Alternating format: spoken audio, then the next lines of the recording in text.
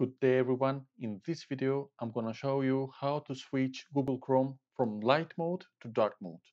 In order to do that, you have to launch Google Chrome web browsing and in search bar, you have to write Chrome slash slash flags like this. And then in search flags, you have to search dark mode dark mode force dark mode for web contents. And in, as you can see now it's default and you have to switch to enabled. At the bottom of the screen you're gonna see that we have to relaunch Google Chrome. We click relaunch and now it's relaunched once again and let's check if everything is fine.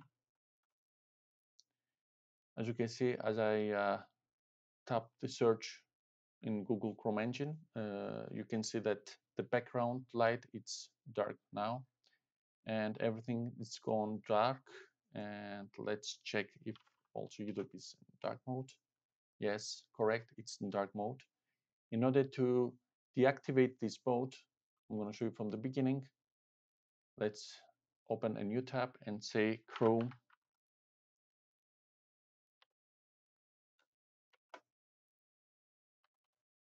flags and tap enter and search for dark mode.